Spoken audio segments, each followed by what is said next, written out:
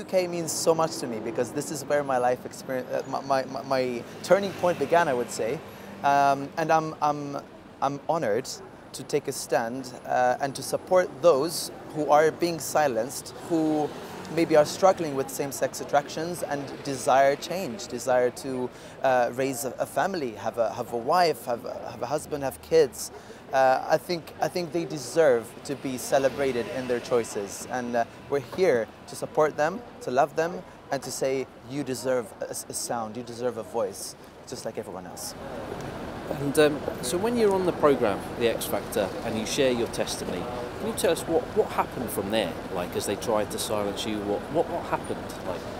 Um, yeah, so yeah, it was the, the Minister of Equality and, uh, and, and the multitudes, I would say, as well. Uh, there was a lot of aggression and the comments because, because my interview together with my uh, solo audition was also uploaded on YouTube.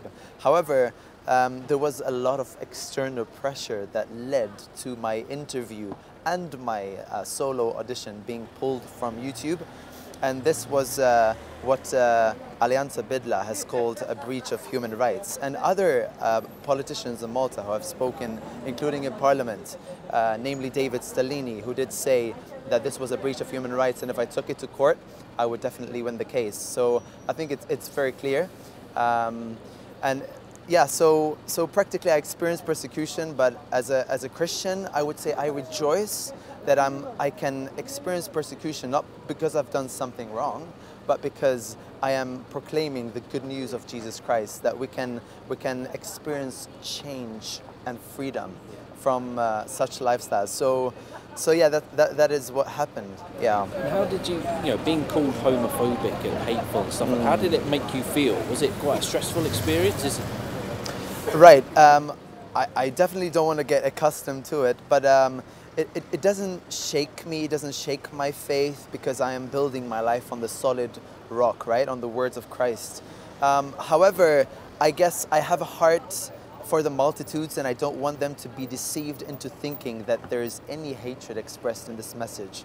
If anything, uh, we, are, we are the only ones who are standing with a minor group in society that says, look, I don't want to be gay. I don't want to be lesbian. I don't want to be transgender. I don't want to be transsexual. What, what if I don't want, like, why, why should I be silenced? Why, why should I be mocked if I want to move away from this lifestyle? So we're basically taking a stand even against discrimination because the government right now is saying we should discriminate against these people. We should not give them a voice. They are hateful. They, they, they do not deserve to be heard or seen or anything like that. So so yeah, I have heart because I don't want the Maltese people, my countrymen, to be deceived um, because of the what the media is falsely saying about my life experience. Yeah, and we've just spoken to a Maltese politician who's here today, and he said that if we were having this conversation in Malta, there's, there's a danger of being arrested for talking about these topics. Have you felt has that been a danger for you? Yes, I, I have concerns for the for the future of freedom of speech in Malta. I have great concerns. In fact, uh, the Malta gay rights movement has has been trying to uh, make ex LGBT testimonies look like it's an advertising of some kind of conversion therapy, as they call it. Um, I'm very uncomfortable with that phrase. I think it's the, it's the most ridiculous phrase in the 21st century that, that people are buying into. I mean, we're being compared to people who do electric shocks to change, which is ridiculous. And people are buying into the, the biggest fabrication of the 21st century, as I like to call it, conversion therapy. Um, I think it's creating a, a, lot of misunderstandings. I think it's making very dangerous links between ex-gay uh, people and, and, and people who do electric shocks and just extreme therapies.